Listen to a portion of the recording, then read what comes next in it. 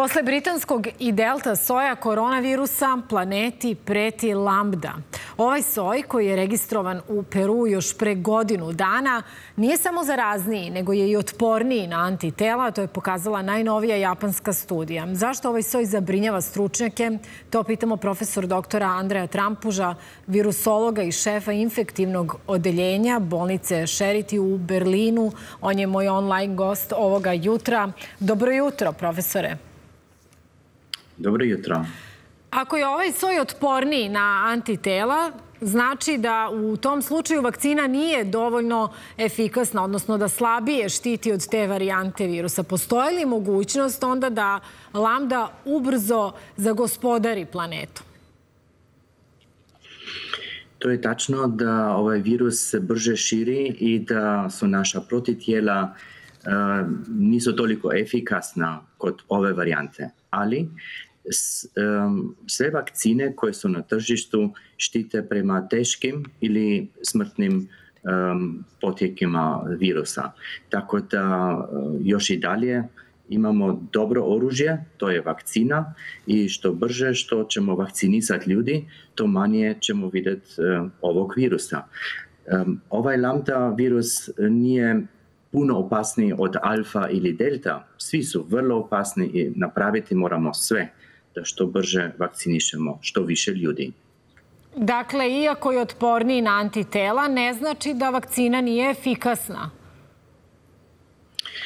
Oni koji su vakcinisani e, može da se inficiraju, ali neće imati e, teški oblik e, infekcije.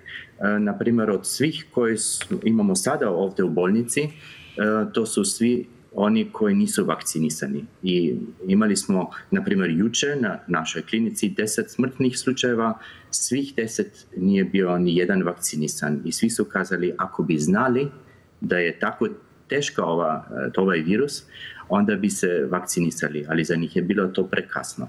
Profesore, zašto korona ne posustaje? Zašto su novi sojevi čini se mnogo opasniji od one prve varijante korone? Zar ne bi trebalo da, da to bude suprotno? Mi imamo vrlo dobre uspjehe sa vakcinacijom. Samo u Europi sa vakcinom um, sprečili smo 40.000 smrtnih slučajeva.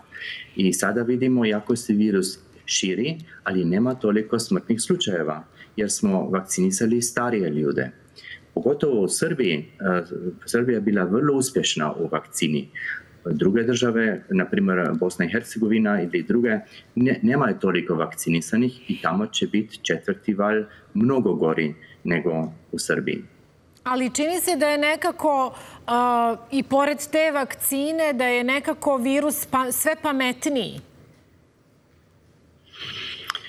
Ja, virus nije pametniji, nego on traži ljude koji nisu vakcinisani. Tako da ovo pandemija što sada vidimo, to je pandemija kod nevakcinisanih. Uh I jer su to više mladi ljudi, onda i kod njih vidimo teške oblike. Um, tako da to je, to ste u pravu, mi smo i, i dalje u trki sa vremenom. Um, što manje ljudi će biti vakcinisanih, to više ćemo imati i novih varijanta i e, to su ovi virusi koji, sa kojima ćemo u sljedećim mjesecima da budemo konfrontirani. Pogotovo kod mladih kad počne škola.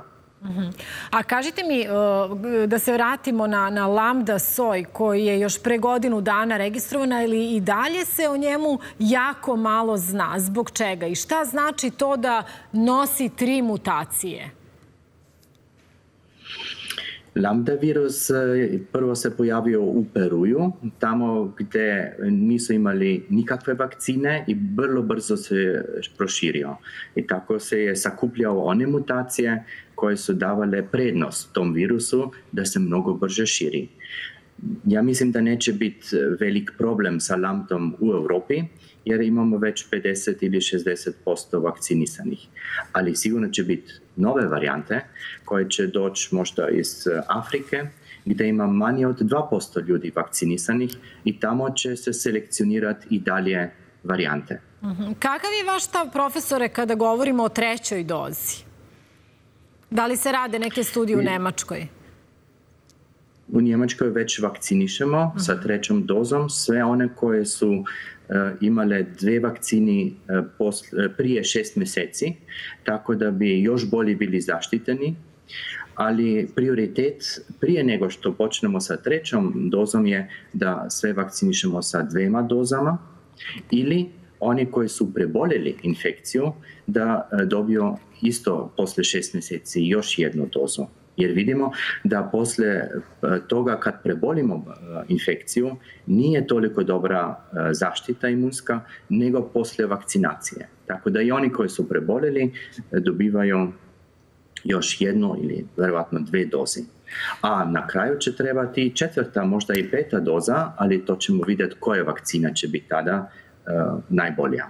A šta vi mislite o mešanju vakcina?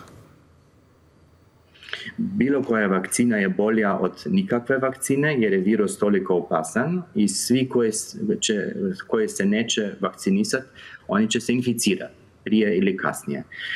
Um, študije kažu da sada ako miješamo vakcine, onda je imunost još bolja. Naprimjer, ja sam prvo primio AstraZeneca, a drugo je bila Pfizer-BioNTechova vakcina i ova zaštita je malo bolja.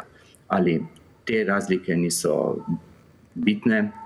Mhm. Bitno je da se vakcinišemo. Mhm. Dakle, da, na početku smo bili uplašeni kada, kada čujemo da se desio slučaj da je neko slučajno dobio uh, drugu uh, vakcinu prilikom revakcinacije drugog proizvođača, a sada ispada da to možda i nije, nije loše, naprotiv, već da, da zaštita može da bude i bolja. Moram da vas pitam za ovaj novi, za ovaj zapravo prvi slučaj zaraze virusom Marburga iz familije virusa koji je pripadala ebola, koji je e, potvrđen u, u Africi. Kakav je to virus? E, imali smo i saopštenje Svetske zdravstvene organizacije da taj virus mora biti zaustavljen. Marburg virus je iz iste grupe kao ebola virus, znači vrlo su opasni e, kad se ljudi inficiraju. Tamo smrtnost je oko 80%. Znači mnogo više od, kao kod covid gdje je smrtnost 1, možda 2%. Um, zbog toga što je toliko smrtonosan, on se ne može toliko brzo širiti, jer ljudi brže umre nego što se širi i zato to neće biti um, veliki problem za države van Afrike. Ali tamo treba odmah da se izolacija napravi kao kod ebole i um, problem je da nemamo nikakvog lijeka protiv uh, Marburga ili uh, ebole virus, ali dobra stran je da se ne širi preko vazduha. Širi se stvarno sa kontaktom od jednog čovjeka do drugog. Znači nije toliko kontagiozan kao koronavirus. Posle ove pandemije, kada god čujemo da se pojavio neki novi slučaj nekog e, drugog virusa, prosto e, je negde normalno da budemo uplašeni.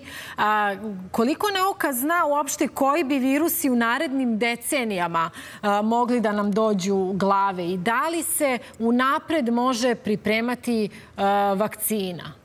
Da ne dođemo u situaciju da se vakcina stvara tek kada, kada virus, kada pandemija zavlada? To je vrlo dobro pitanje. Šta možemo napraviti za sljedeću pandemiju? Jer znamo da svakih 20 do 30 godina će doći jedna pandemija. Znači za ovo koronu znali smo da će doći, ali nismo znali tačno koji će biti virus. Mi smo mislili da će biti više e, influenza virus. Ali što imamo sada kao kod ove pandemije da imamo novu tehnologiju, tehnologiju za vakcinu, to je mRNK tehnologija koja može vrlo brzo u šest e, sedmica da spremamo već vakcino. Odmah kad znamo virus, e, možemo par tjedna kasnije već imati vakcinu. I to što isto možemo praviti, napraviti bolje je da uvijek kad se pojavljaju novi slučajevi nepojasnenih infekcija, da odmah tražimo koji je virus. Tu smo izgubili puno vremena u Kini gdje eh, je trajalo više mjeseci do toga da smo znali da je to novi koronavirus. Dobro, dakle, možemo negde da, da predvidimo makar da smo mirni narednih 20 godina, ili to ne mora da znači? Jeste to sada rekli? Da, sljedeća pandemija će biti posle 20 do 30 godina, ali to ne znači da sada ne, ne trebamo ništa napraviti za to, za to vreme. Mi moramo i dalje e, pratiti i vrlo brzo onda i reagirati. Mi smo imali već prije 13 godina SARS e, virus koji isto bio novi koronavirus, a brzo smo reagirali i zaustavili tako da nije došlo do pandemije.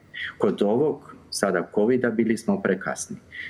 Znači ako imamo senzore i e, Svjetska zdravstvena organizacija e, puno dostupa do svih e, ovih bolnica, onda možemo sprečiti. Ja sam vrlo optimista i zbog toga što puno više znamo. Mi znamo da maske su vrlo efikasne. Ako bi svi nosili maske od januara prošle godine, mogli bismo sprečiti ovu pandemiju.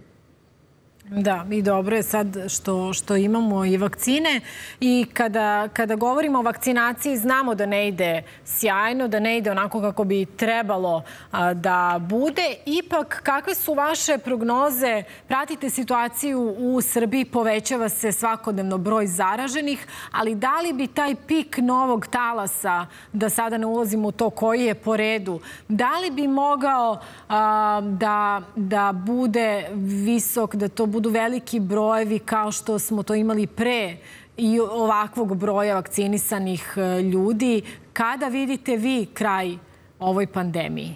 Nazire li se? Sada imamo mnogo bolju situaciju nego prošle godine, e, jer imamo ne samo vakcinacije, nego i testove. I e, znamo da lockdown neće biti potreban, ali moramo brzo reagirati kad se pojavljaju nove infekcije. I verovatno ćemo i nositi maske i dalje ovu zimu um, u zatvorenim prostorima, ali bit će kraj pandemije uh, i sljedeće godine verovatno da ćemo imati normalan život, osim oni koji nisu vakcinisani. Oni će biti verovatno jedna grupa od 10% ljudi koje neće imati uh, toliko slobode kao e, ostali, verovatno neće moći putovati ili um, um, biti na um, evente ili možda će imati druge uh, slabije stvari. Da, ali nevakcinisani putuju i sada, do duše uz PCR test, ali, ali svakako vakcinisani i nevakcinisani, barem za sada i kod nas. Još uvek vidim da se uvodi u nekim zemljama, na primjer u Francuskoj, dodatne, dodatne mere za nevakcinisane, ali za sada živi, i, i nevakcinisani i vakcinisani žive potpuno isto. Htela sam da vas pitam kada još govorimo o vakcinaciji, rekli ste da je kod vas u bolnici su uh, uglavnom, da su zapravo nevakcinisani a, i da su smrtni slučajevi uglavnom ljudi koji su nevakcini, da su umrli od koronavirusa, uglavnom oni koji su, odnosno oni, samo oni koji nisu vakcinisani. Imate li podatak a, od koje, koje najče, kojom vakcinom su vakcinisani najčešće oni koji su ipak završili u bolnici? Um, sve vakcine štite 99% prema teškim slučajevima i, i Sputnik. Sputnik nije ništa drugo nego kombinacija od AstraZeneca u prvoj dozi i kineskog uh, kineske vakcine u drugoj dozi, znači to je neka mješavina od vakcine, uh, tako da bilo koja vakcina je dobra. Um, za testove htio sam još jedan komentar što ste kazali da ako imamo negativan test onda možemo putovati. To je tačno, ali test je treba ponoviti svaki dan jer važi samo za jedan dan. I uh, u Njemačkoj će biti od oktobra dalje treba da se plati ovaj test. Znači, oni koji se neću vakcinisati, to će biti vrlo skupo, um, a i testovi mogu biti negativni. Znači, mnogo bolje je od uh, se vakcinisati. I na vaše pitanje od onih koji su sada kod nas u bolnici, um, to su i čak i oni koji su imali lažno negativan test i mislili su da, da, je, da je to bez opasnosti i tamo su se inficirali i uh, dobili i teške uh, oblike infekcije. Mm. Dobro, profesore, mnogo vam hvala na vašem odvojenom vremenu. Olim.